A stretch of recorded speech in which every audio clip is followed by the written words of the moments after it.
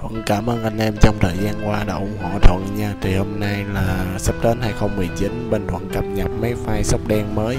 Thì Thuận đăng lên chia sẻ với anh em Sóc đen này nó có hai loại.